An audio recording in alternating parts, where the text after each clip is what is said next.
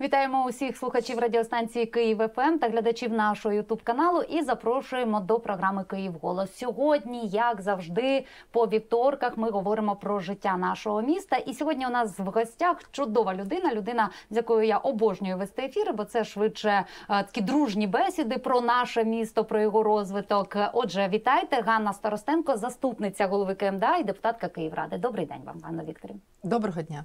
Так, дивіться, я ж ви ж знаєте, я тепер люблю починати з вами розмови дуже нестандартно, не як з посадовицею, так а скажіть мені, будь ласка, ви дивилися уже конотопську відьму? Бачили? Бо я дуже заздрю всім людям, які пощастило вже і це побачити. Скажу чесно, так, бачила. Е, Мені дуже сподобалося. Це теж було дуже непросто потрапити на виставу. І ви знаєте, я хочу сказати, що сьогодні наші театри вони переживають справжній ренесанс. Е, Під час війни е, є дуже великий запит на цікаві, яскраві е, такі театральні проєкти. Більш того, я вам хочу сказати, у нас чудові проєкти в наших муніципальних театрах. Це і Сойчине крило, яке ви теж бачили в е, нашій київській опері. Це і е, вистава Кабаре в молодому театрі. Чудові твори також сьогодні у нас демонструє наша київська оперета Тигролови за Іваном Багряним. Дійсно, сьогодні такий ренесанс. Е, Сьогодні ми переосмислюємо е, нашу спадщину, нашу культуру, знаходимо е, твори українських. Авторів е, ставимо такі вистави, цікаві театральні проєкти, і ми бачимо, що глядач іде.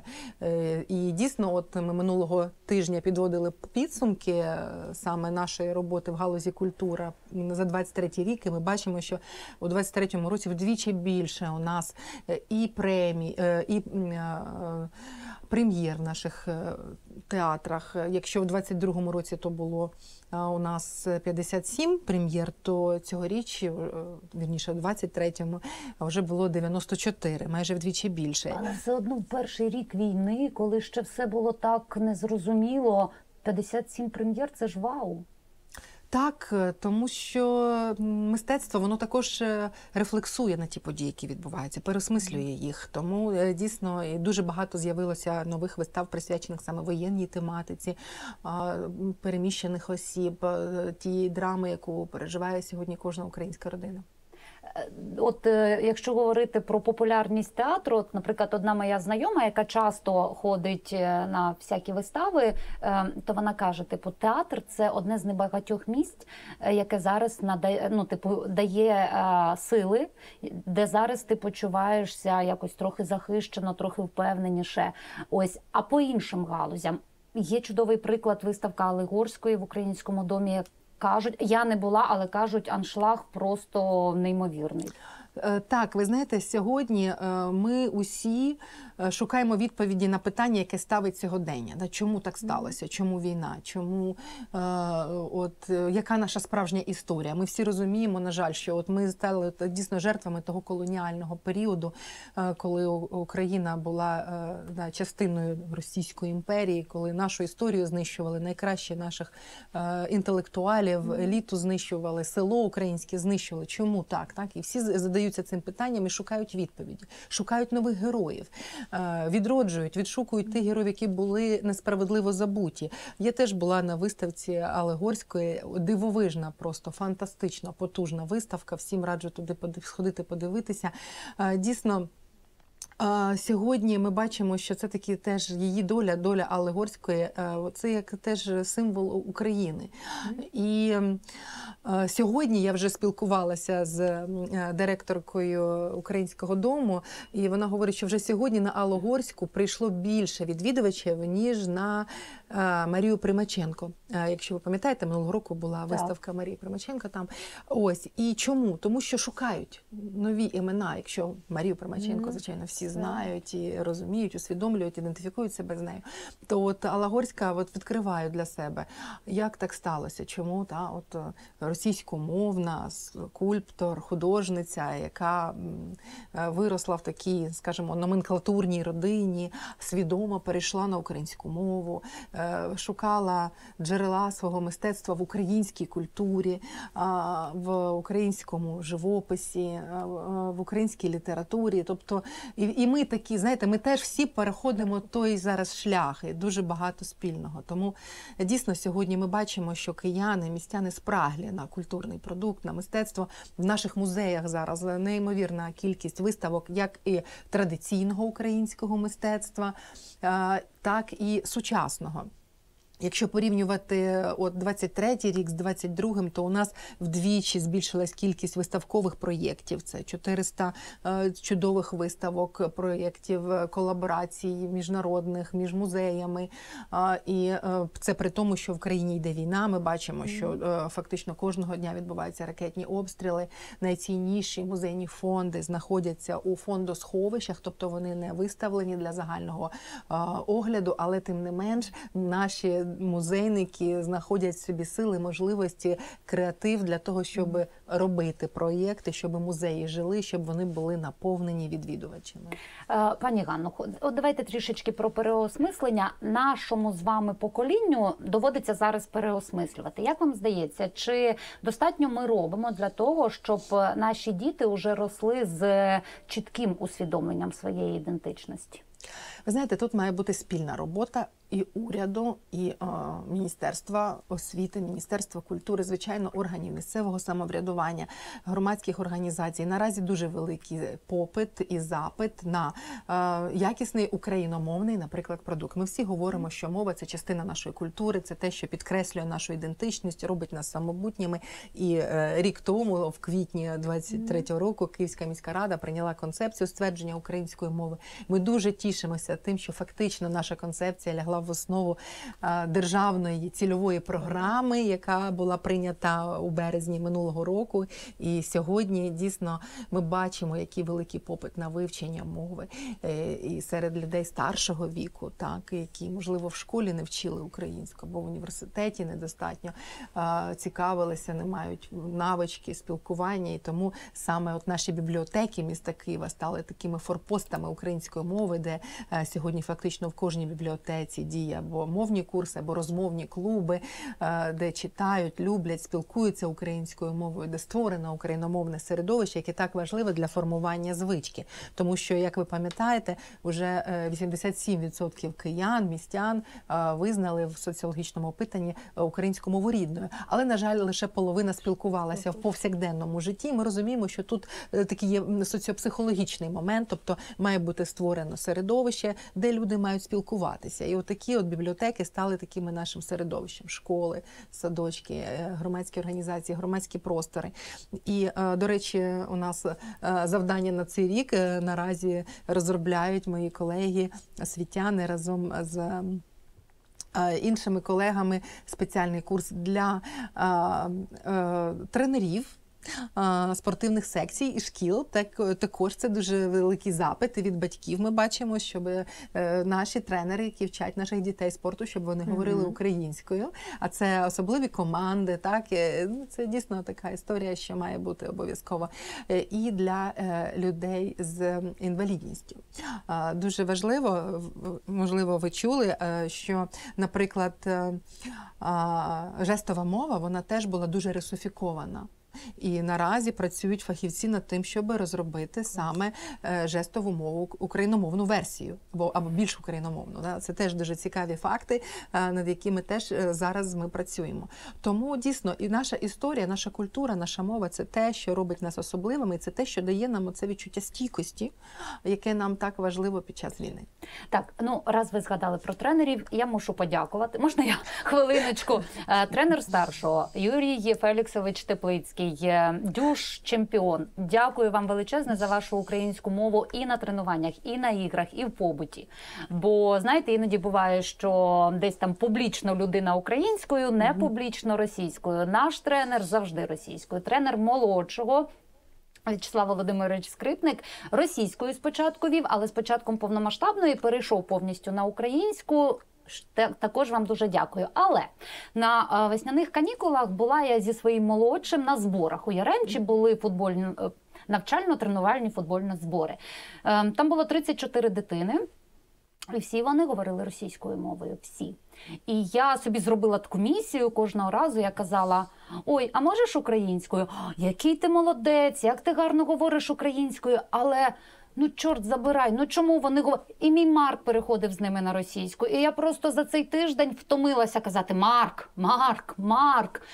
Чому? Ну чому восьмирічки, семирічки, восьмирічки говорять російською? Е, Ви знаєте, це саме пов'язано з таким психологічним явищем е, формування мовної стійкості. На жаль, саме через те, що 300 років українську мову, українську культуру нас постійно пригноблювали, е, говорили, що вона якась не така.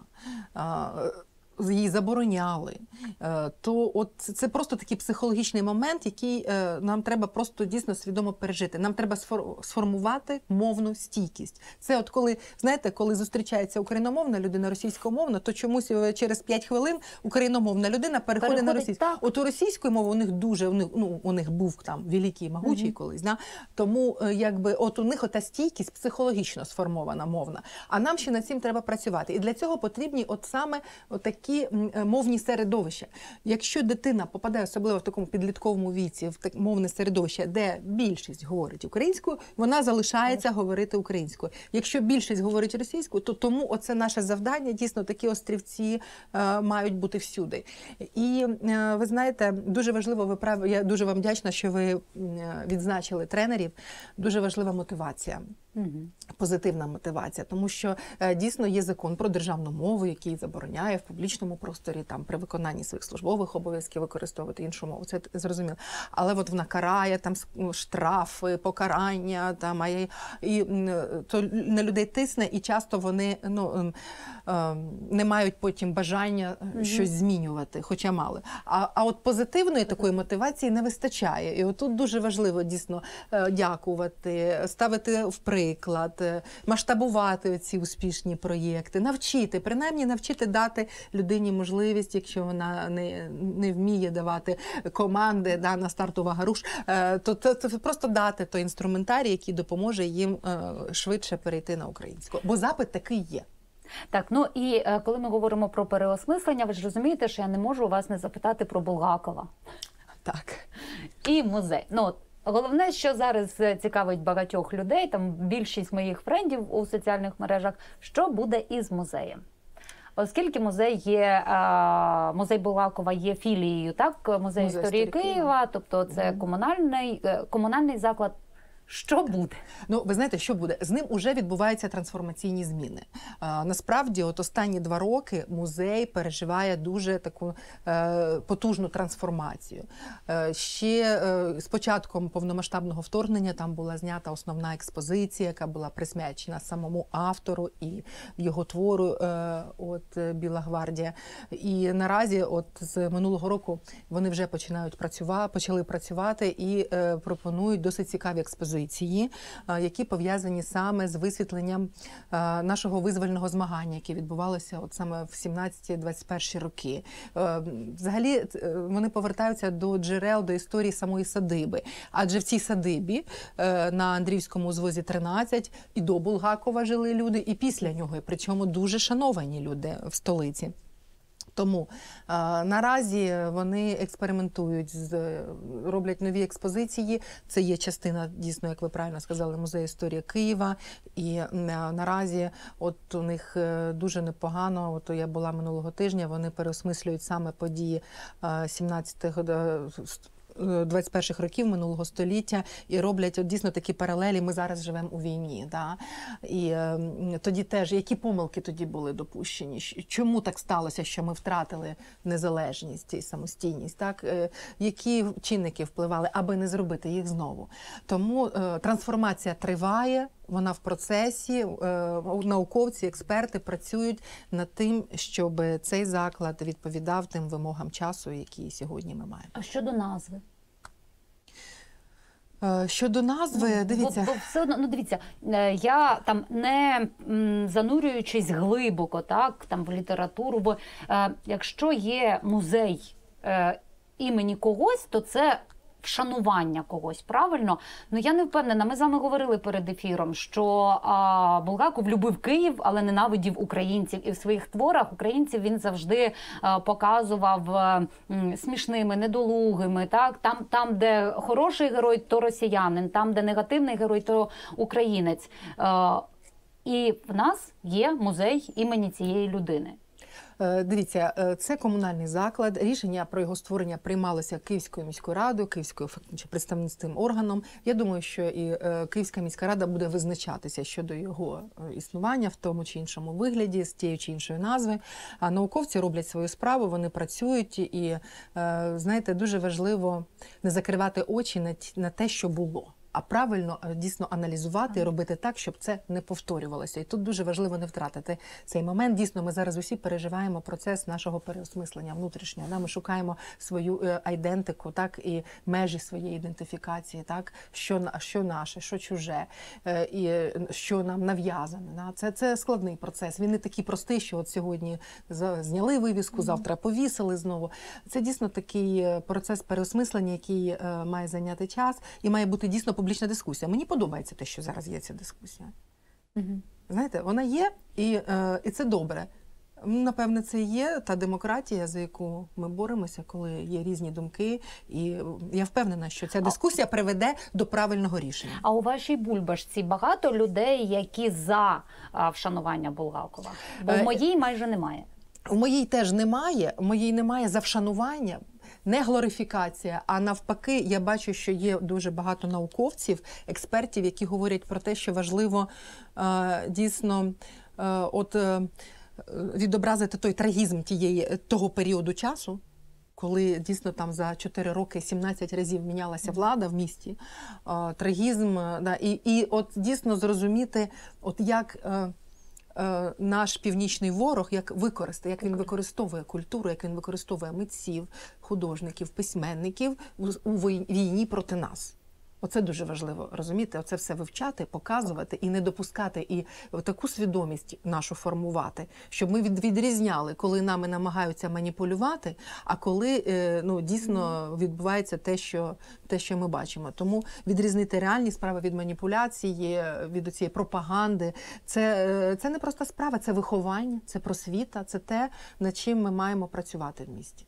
Ну, пані Ганно, пам'ятаєте нещодавне опитування, яке дуже таки сколихнуло, е, зокрема і соціальні мережі, про те, скільки відсотків людей вірять в астрологів і гадалок. Якщо не помиляюся, 67, так?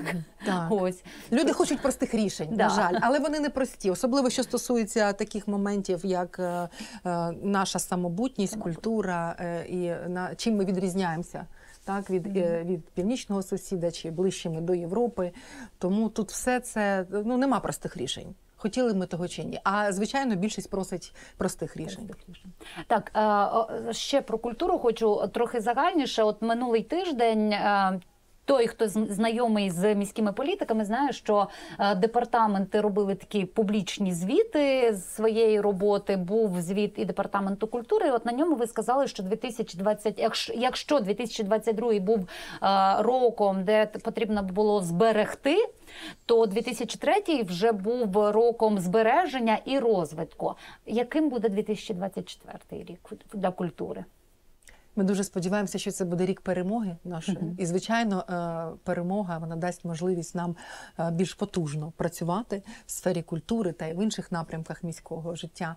Е, Тому що наразі дійсно ми у нас і бюджет міста по галузі культури він зберігається приблизно однаковий, там з невеличкими. Ну да, він збільшується там десь на 200-300 тисяч щороку збільшується, але в основному він спрямований на забезпечення заробітних плат наших працівників, на утримання наших закладів. Закладів, е, мається на увазі комунальні послуги. На жаль, е, ми не проводимо зараз масові заходи або якісь великі мистецькі заходи, open air, та на відкритому повітрі. Ми бачимо, що зараз е, балістику дуже часто ворог використовує проти нас, і буквально щільні навіть не, не хвилини, а вже секунди від моменту сирени до ракетних обстрілів. І тому для нас життя і безпека людей це першочергове завдання. Тому ми готові свідомо обмежувати наші заходи. Ми їх обмежуємо е, на е, і е, зараз у нас відбуваються події в музеях, театрах, але виключно на ту кількість людей, які готові прийняти укриття цих закладів або сусідніх.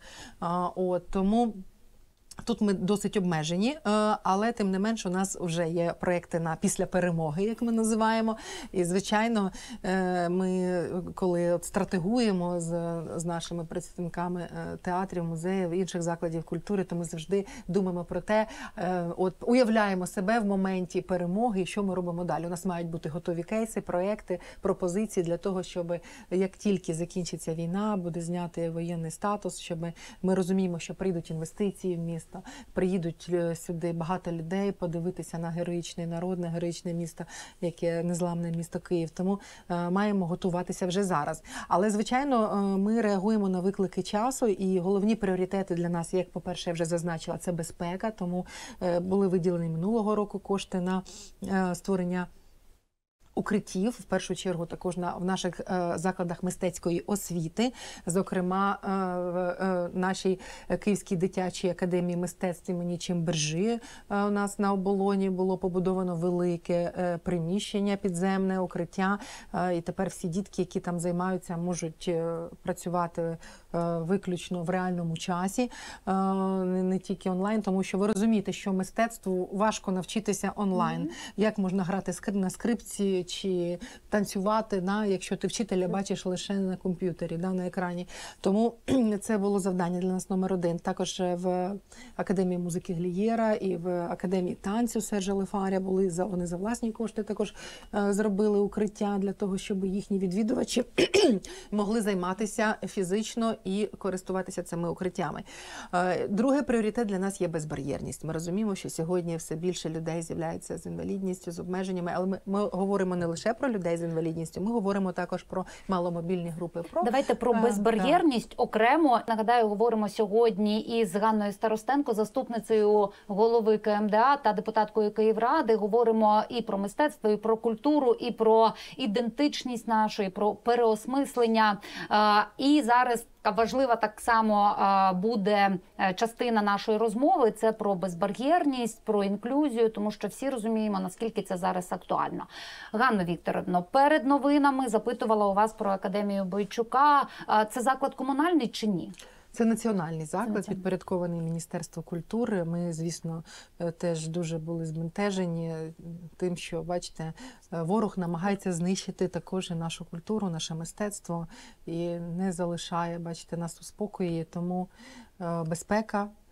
е, Перш за все, дуже добре, що там в той момент нікого не було, але будівля постраждала, і е, це був виставковий зал, в тому числі, де були виставлені роботи. Але на Ну, жаль, насправді там були студенти. Були, наприклад, дякувати Богу, ніхто не постраждав. Е, Діти дуже оперативно все спрацювали з холодним розумом, е, але, але вони спустилися в підвал уже після того, як пролунав вибух.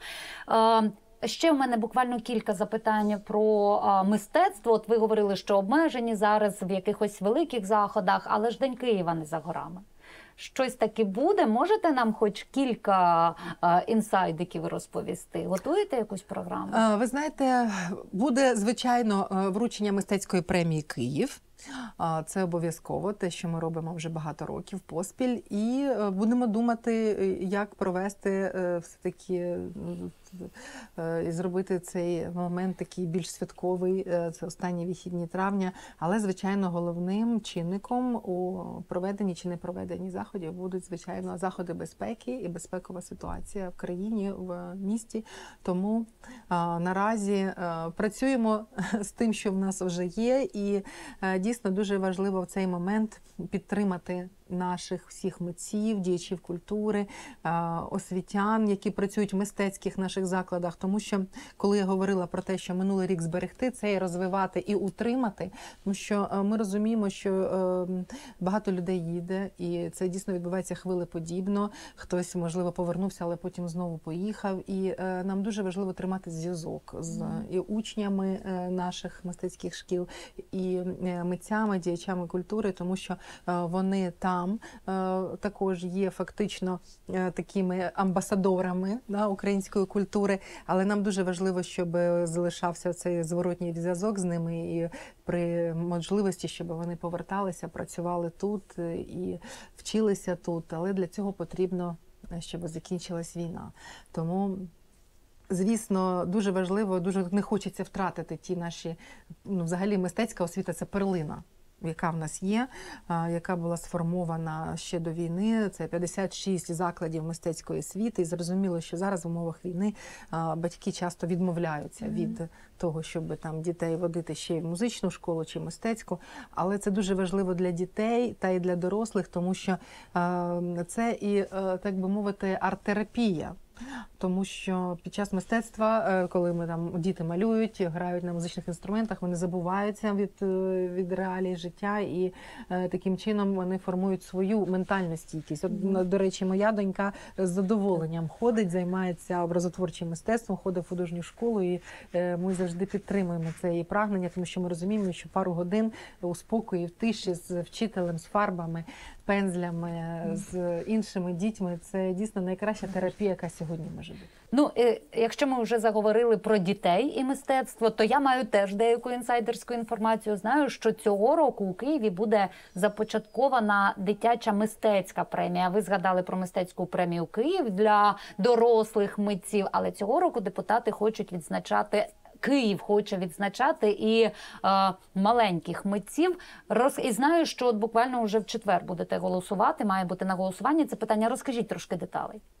Так, ми наразі е, дійсно шукаємо різні способи, як мотивувати і дітей е, в мистецькій освіті, і е, дорослих. Про дорослих я вже трошки говорила. Це і Київська Мгм. пектораль. Нещодавно ми вручали театральну премію, яка ровесниця нашої української незалежності.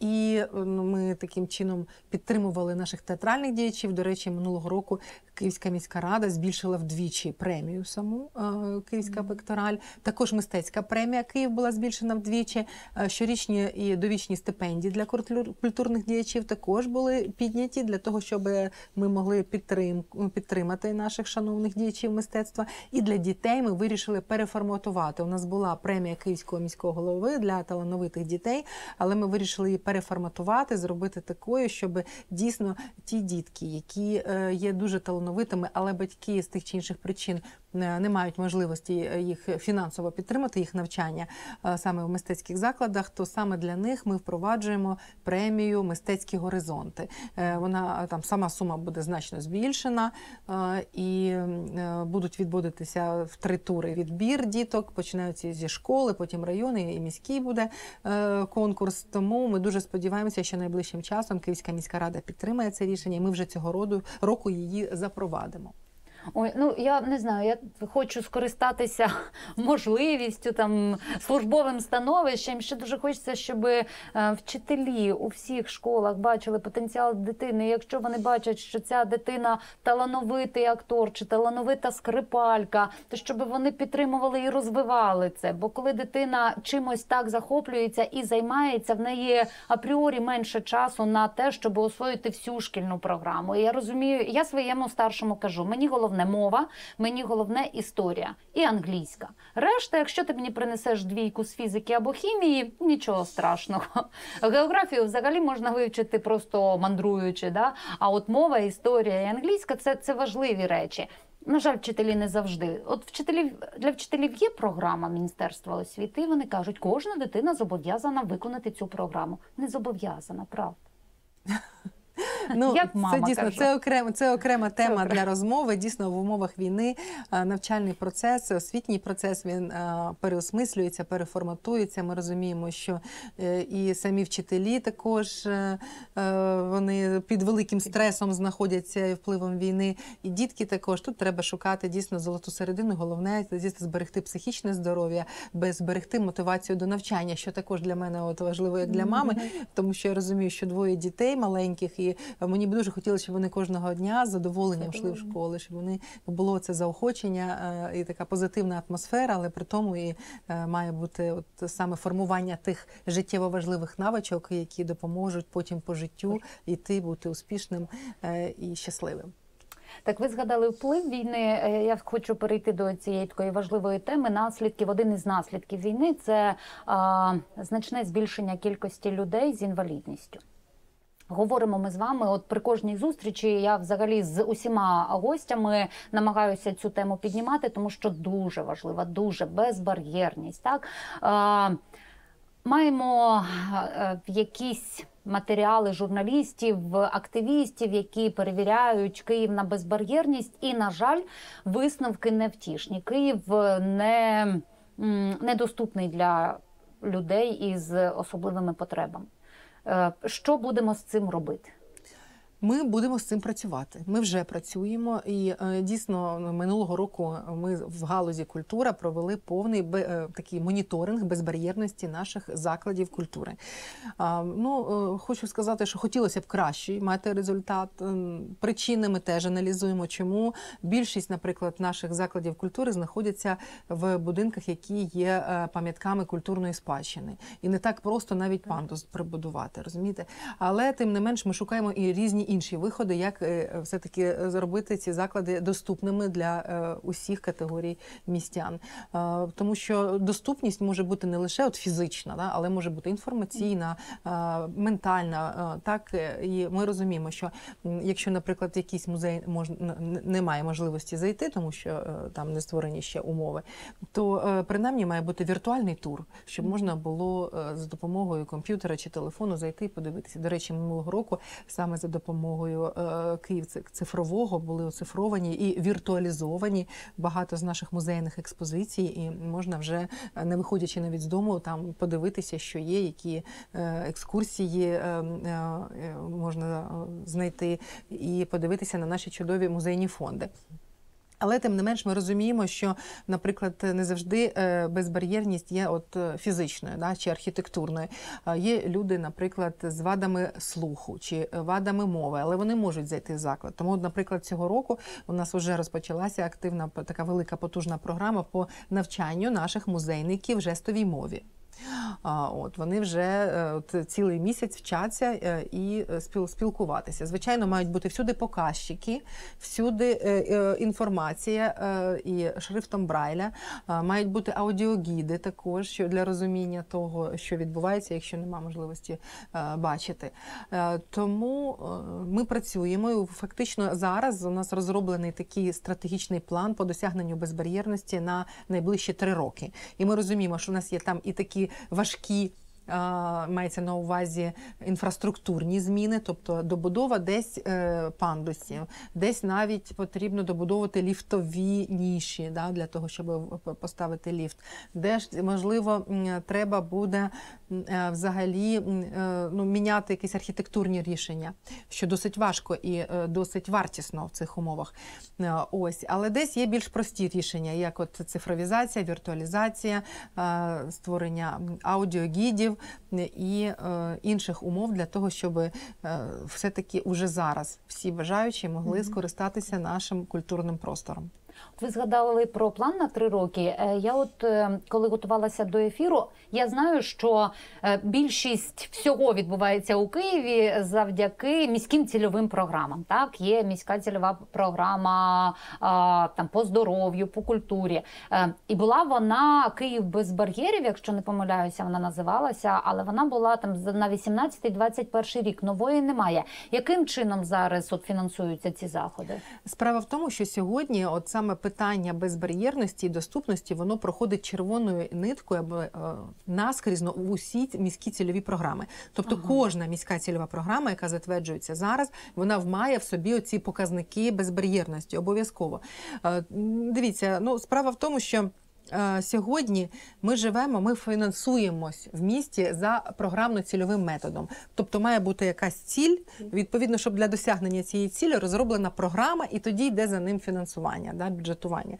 Тобто ми не просто там фінансуємо, аби фінансувати, а тобто ставляться конкретні задачі, визначаються пріоритети. І от сьогодні дійсно для міста одним із пріоритетів є саме безбар'єрність та доступність. Тому воно проходить і в міські цільові програми з культури, і е, туризму, і е, транспорту, і всі інші програми, які на сьогодні, якщо я не помиляюсь, 12 міських цільових програм розробляються наразі в місті Києві. Тобто у всіх них є розділи е, присвячені безбар'єрності і доступності.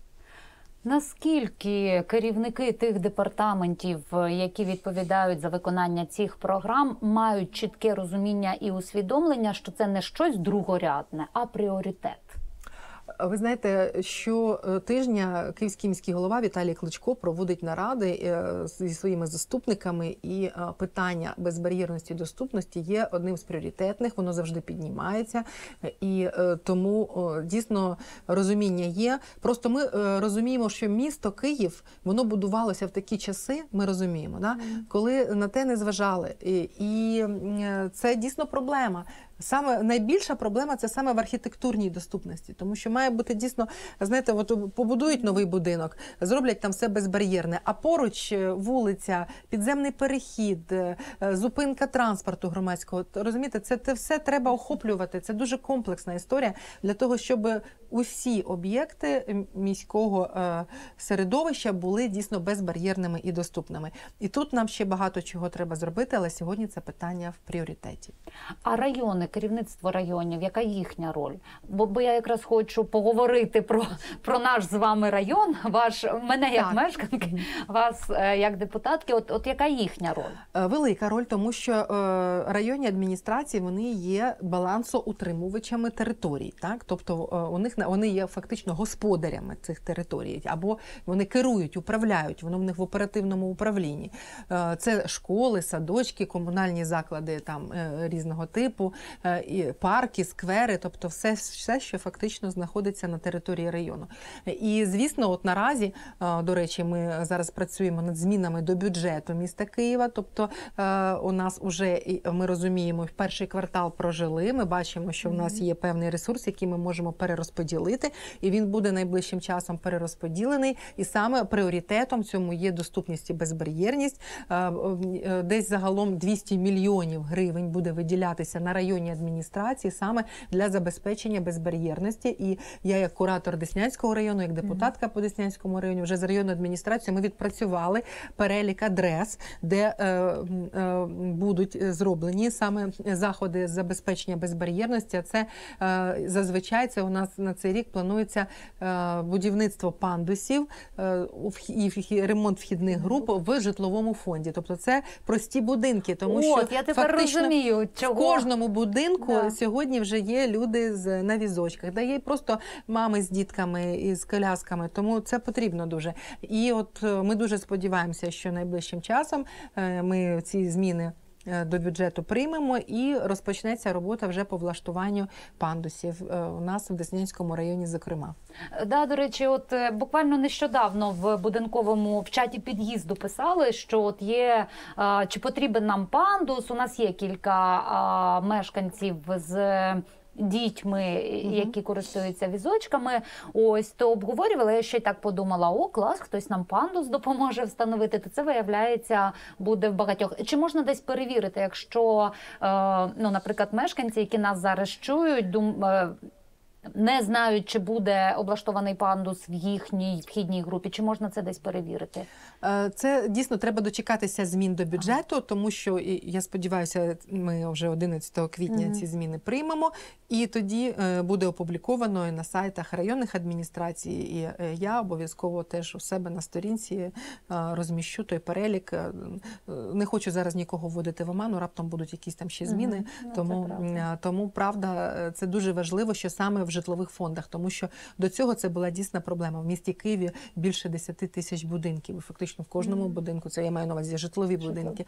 Е, Сьогодні є вже е, людина з інвалідністю і з, з обмеженими можливостями. Тому, звісно, е, дуже важливо це зробити, щоб люди могли користати, користуватися своїм житлом, принаймні, принаймні без, безперешкодно. О, ще би ліфти, ще би якусь таку програму, щоб ліфтів більше ремонтувати. Є і програма ліфтів, але вона дійсно сьогодні, на жаль, хотілося, щоб вона була більша, наповнена і фінансами, і тому що дійсно наш район, Деснянський район, ми всі розуміємо, це дуже висока забудова. Е, Це будинки, які будувалися в кінці 80-х років, тобто їм вже 30 і більше років. І звичайно, вони потребують і капітального ремонту, оновлення, заміни. Е, Тому дійсно це таке дуже наболівше питання для міста. Е, Що ще цього року в Деснянському районі може змінитися? Тому, от бачите, отримали цікаву і корисну інформацію про пандуси. Е, Над чим ще працюєте? Звичайно, в умовах війни, коли е, наше основне завдання підтримувати військових е, сили оборони, але тим не менш ми намагаємося також і підтримувати місто, та саме і район, в тому числі. От, Зокрема, буквально минулого тижня я була в нашій дитячій поліклініці на Вигорівському бульварі. А це, це зараз так на вже по-новому називається да. центр первинної медико-санітарної допомоги номер 4 але в минулому всі ми знаємо, всі мами там були. Да? Е, Це колишня дитяча поліклініка. е, Ну вона і зараз дітей приймає. Вони- Це так, такий вони- змішаний тепер формат. Так, так, змішаний формат. В основному так вони теж приймають діток, і е, там були жахливі умови до війни. Там і грибок був, і ну, в такому воно було вже занедбаному досі стані. стані. І е, нам вдалося минулого року виділити Київською міською радою кошти на те, щоб там відремонтувати. Там три поверхи було відремонтовано. Своїми коштами вони відремонтували укриття. У них є досить просторе укриття, яким користуються і мешканці сусідніх будинків. Також було закуплено необхідне обладнання, і е, тому, е, до речі, там теж все було зроблено з умовами е, забезпечення людей з обмеженими можливостями. Тобто там можуть ними скористатися і візочники, і люди з вадами зору і слуху. Тому я дуже сподіваюся, що, що відмітять зараз всі користувачі нашої поліклініки, що зміни такі відбулися. А, Також цього року заплановані у нас будівництво чотирьох а, е, бомбосховищ укриттів в закладах освіти, А, тому що у нас ще є, особливо на лісовому масиві. У нас є е, два об'єкти ще в- на Троєщині, де, е, на жаль, немає укриттів, і тому ці заклади працюють дистанційно. А, Хотілося б, щоб всі дітки е, сьогодні ходили до школи. Для цього нам потрібні укриття. Тому цього року я сподіваюся, це буде зроблено. Тобто пріоритети зберігаються ті самі, як я й говорила для галузі культури. Це укриття, це звичайно безбар'єрність, доступність. е, Ну і е, протиаварійні поточні ремонти. Якщо ми бачимо, що десь є е, там проблема, е, яка потребує вирішення, яка несе загрозу да, життю, там е, здоров'ю людей, то звичайно ми те робимо і туди направляємо ресурс. У мене була велика суперечка з приводу, наприклад, ремонту вулиці Каштанової, саме дороги. А, ось, бо там є ями, і е, до мене багато людей звертаються і кажуть: от давайте поремонтуємо. Інші кажуть, не на часі. І у нас прям така, знаєте, була дискусія з залученням нашого е, цього управління, яке відповідає за е, експлуатацію шля, шляхів і доріг в місті Києві. От е, і ми визначили, що для нас буде основним критерієм, якщо ота яма. Та, Чи стан дороги е, несе загрозу життю і здоров'ю, то значить її треба ремонтувати. Якщо там її можна об'їхати, вона не глибока, то можна почекати. Але якщо дійсно то є загрозою, то е, це потрібно робити. Ви знаєте, в цьому плані ну там виручає в лапках те, що комендантська година і вночі не їздиш. Вдень е, і ввечері Київ гарно освітлюється, тому ти можеш об'їжджати ями. Але я час від часу їжджу по вулиці Каштановій, там немає ділянок загрозливих прямо для життя водіїв. Натомість хочу запитати: от ви згадали про не на часі.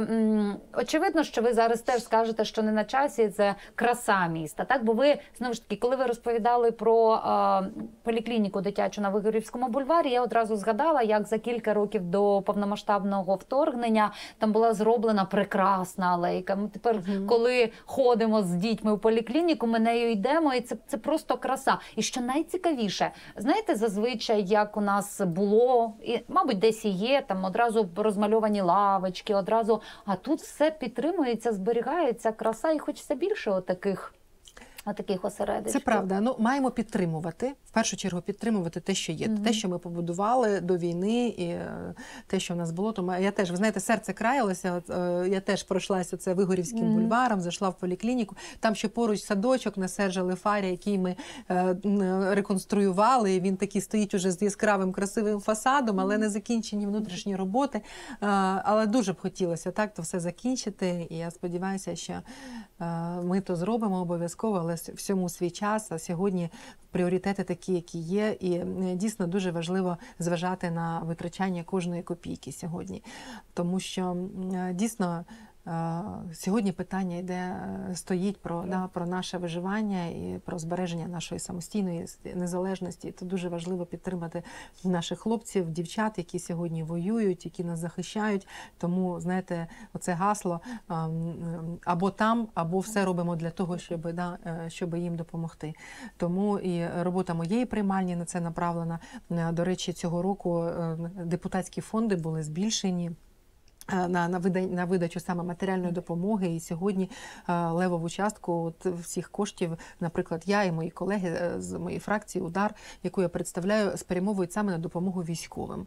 А, да, це 40 тисяч гривень можна надавати матеріальну допомогу військовим, які учасниками бойових дій, тому що так їх зараз краще годують, є якась амуніція, але тим не менш людям потрібна все одно підтримка і така якби додаткова мотивація. Тому це дуже важливо, щоб ми в першу чергу сьогодні підтримували, підтримували військовослужбовці. А ВПО як часто зараз звертаються до допомоги за допомогою? Чи все таки за ці два роки більшість людей уже що називається асимілювалась?